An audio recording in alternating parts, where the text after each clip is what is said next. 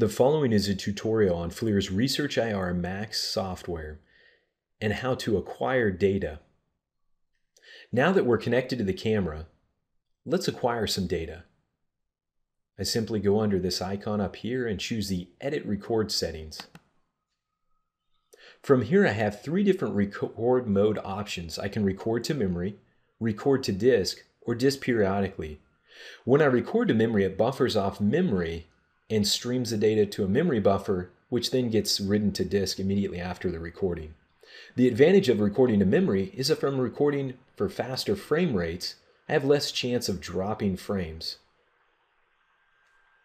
My options are to record a certain number of frames or record for a certain number of seconds, and I can specify how many frames to block off as a buffer in memory.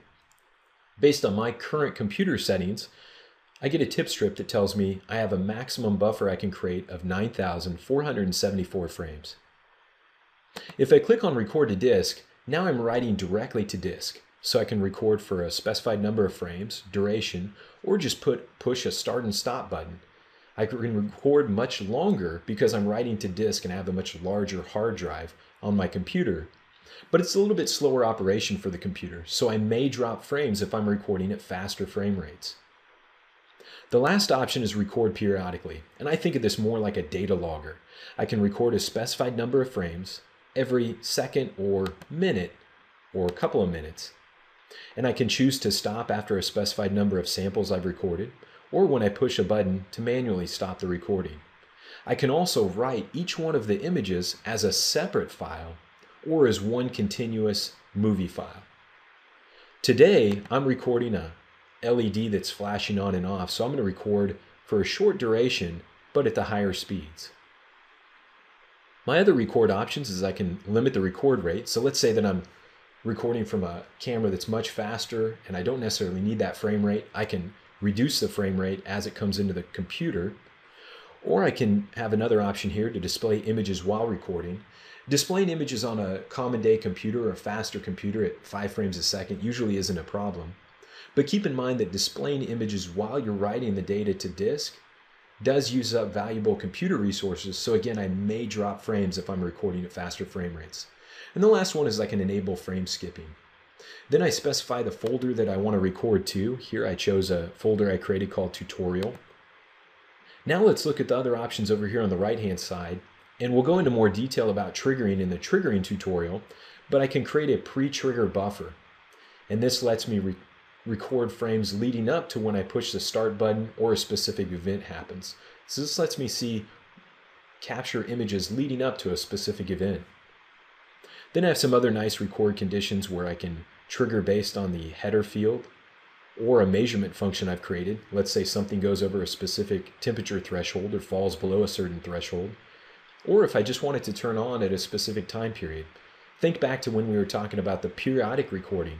Maybe I wanted to uh, the test to start at midnight and finish up at 6 a.m. So when I come in first thing in the morning, my test is fully run, I have all my data, and it's ready to go for me. The last thing that you'll definitely want to type in is a file name. And you can create a unique file name for the recording a movie or a snapshot. Here I have an A6703 SC camera with a 1x close-up lens. And I've created for the snapshot a prefix of snap, followed by the data and the lens I'm using, and then a count.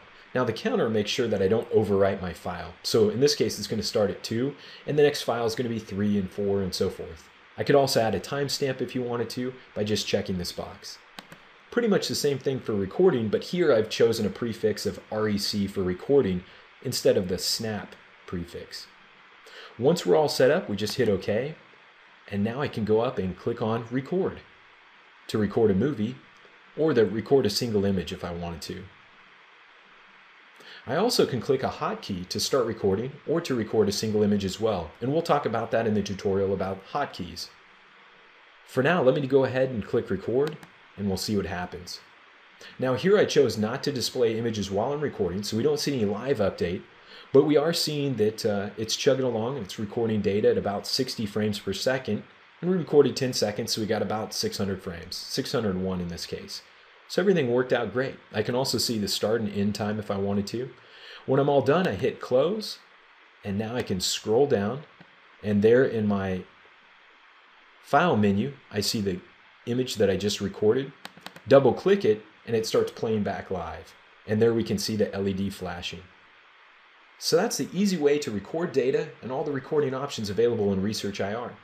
For more information about ResearchIR, how to do analysis, share data, connect to the camera, please take a look at other ResearchIR tutorials. Thank you.